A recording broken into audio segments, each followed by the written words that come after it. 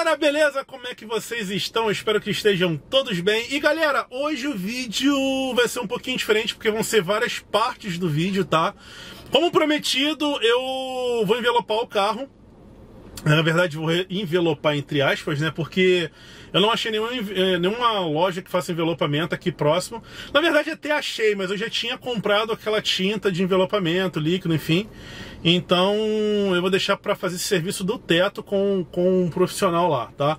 O que que acontece? Eu vou fazer uma série de vídeos, porque em um vídeo só vai ficar muito grande, mas eu vou fazer uma pintura, né? Na verdade, eu não vou nem dizer que é envelopamento, porque não é uma tinta é, envelopamento para envelopamento, né? Que é aquela tinta que quando seca, se você não gostou, você vai e tira, né? É uma tinta emborrachada, porque eu só achei preto fosco, cores foscas, né? Eu não achei nada é, cores brilhosas. Então eu acabei comprando uma tinta automotiva na cor cinza, cinza grafite, né? Uma cinza escuro porque eu não queria botar preto. Preto todo mundo já faz, já tá enjoado e tal. E eu queria uma coisa diferente. Não sei se vai ficar bonito ou não, mas foi uma cor que eu achei bem legal aí, próximo do preto, que combine muito com branco também, tá?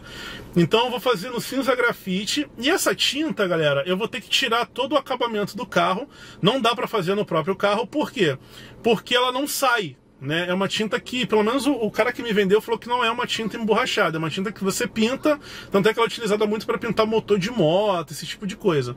Então é uma tinta que não, não sai, então não adianta eu pegar, fazer aquela marcação bonitinha, pintar as letras e depois vir retirando o excesso, deixar só as letras do carro, por exemplo, que não vai funcionar, tá?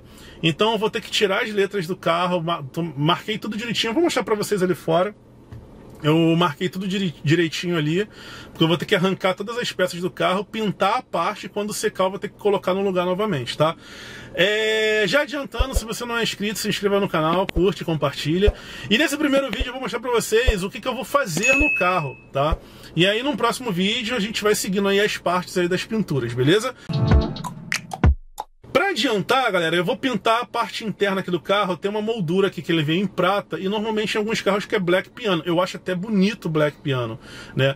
Mas eu queria fazer uma coisa bem diferente. Se não ficar legal, o que, que eu vou fazer? É, do jeito que está pintado, eu vou, quando for envelopar o teto, eu peço para o cara envelopar de envelopar, envelopar, oh, quase não sai, mano. Envelopar de black piano essa parte interna também, beleza? Deixa eu mostrar aqui para vocês, ó. Essa moldura aqui, ó, que é toda em prata, tá vendo? Que vai até lá no finalzinho ali, ó. Eu vou pintar ela de cinza grafite também. O black piano ficaria bonito porque combinaria com essa parte de cima aqui também e tal. Ficaria em black piano, como tem alguns modelos aí. Mas eu queria diferenciar, ó. Já soltei ela aqui, ó. Tá vendo? Ela já tá soltinha. Né? E como é que eu tirei essa moldura, galera? A pior parte é essa ponta aqui, ó. Essa ponta aqui. Deixa eu ver se vai dar foca aí. A pior parte é essa ponta aqui, que é justamente aquele lado de lá. O que, que acontece? Você vai ter que vir aqui com uma. Deixa eu dar um zoom aqui. Tá vendo? Você vai ter que vir aqui com uma espátula automotiva, né? Encaixar exatamente aqui mais ou menos. E ir puxando aqui. E aí depois que você desprende esse lado aqui, o restante vai soltando sozinho, beleza? Só que assim, é muito difícil para mim, foi bem complicado, porque eu não tinha espátula automotiva. Então o que, que eu fiz naquele lado ali? Eu utilizei uma coisa que todo mundo, pelo menos a maioria do pessoal aí que tem filho em casa, tem isso aqui. Que é aquela tampa daquele lenço umedecido, tá vendo? Ele tem uma curvatura aqui. Cara, não tá dando foco, ó, vamos ver. Ele tem uma curvatura aqui, ó. E aí você encaixa ele aqui por baixo, assim. Você encaixa ele aqui por baixo e faz essa alavanca aqui. E aí, depois que você fez essa alavanca, você vai pegar uma chave de fenda. Deixa eu ver se tem aqui, aqui eu usei. Uma chave de fenda como essa aqui, normal, uma fenda grande, e vai envolver num pano, cara, de preferência um pano. É... Como é que se chama? De poliéster, alguma coisa assim. Um pano macio, né? Que você tenha. Você vai envolver ela assim, ó. Você vai envolver ela para não danificar o painel. E aí você vai continuar tirando ali todo o processo até o finalzinho aqui, beleza? Não é, não é nada de sete cabeças não, só que a gente fica sempre com medo de quebrar. Então, é, como é a primeira vez, da próxima vez já sei que é mais fácil para tirar, mas a primeira vez a gente sempre fica com medo de quebrar isso aí. Mas até que deu certo, beleza? Vamos lá pra fora que eu vou mostrar pra vocês agora o que, que vai ser feito. Vai ter um pouquinho de barulho, galera, porque a minha filha tá aqui, tem um pessoal aqui e tal, então vai ter um pouquinho de barulho aí. Mas acho que vai dar pra falar com vocês aí. Ela vive gritando, então vou mostrar pra vocês aqui, ó. Pera aí. Vamos aqui fora. Ó, a gente vai envelopar também, ó, a capa do retrovisor, tá vendo?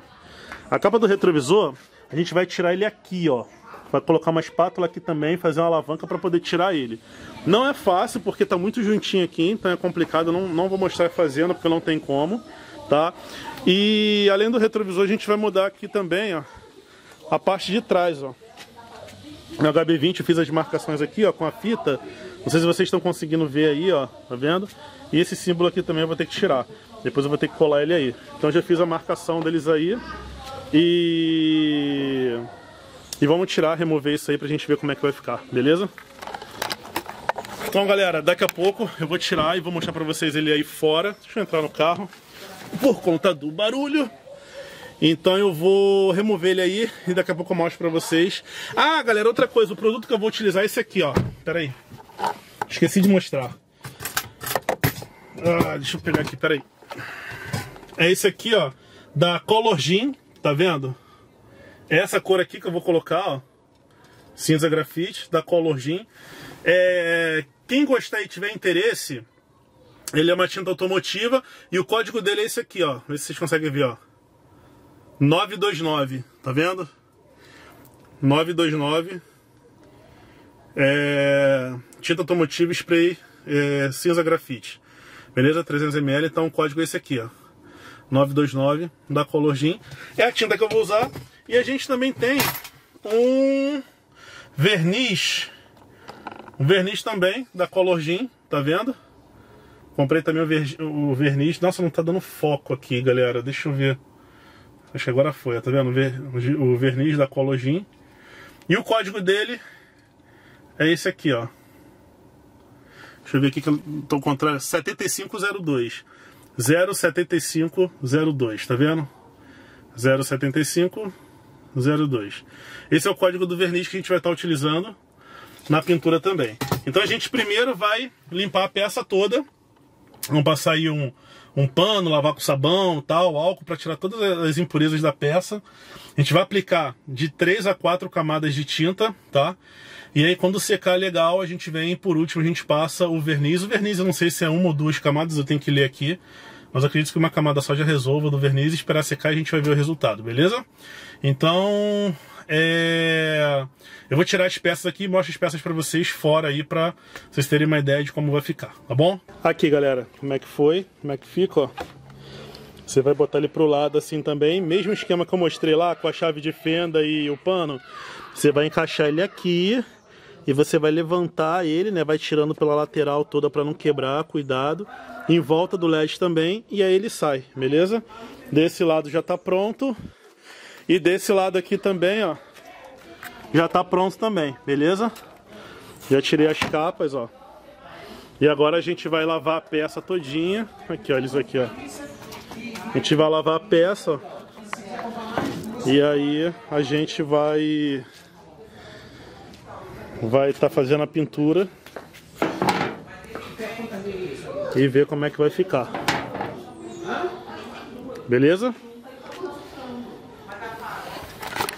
E é isso aí, galera. Agora a gente vai tirar isso aqui e no próximo vídeo vocês vão acompanhar a pintura aí automotiva. Só falta tirar agora o emblema aqui, vou ver certinho. Tirar esse tirar esse. E a gente vai dar início aí a nossa série de envelopamento, beleza? Espero que tenham gostado do vídeo. Fiquem todos com Deus, até o um próximo vídeo e fui!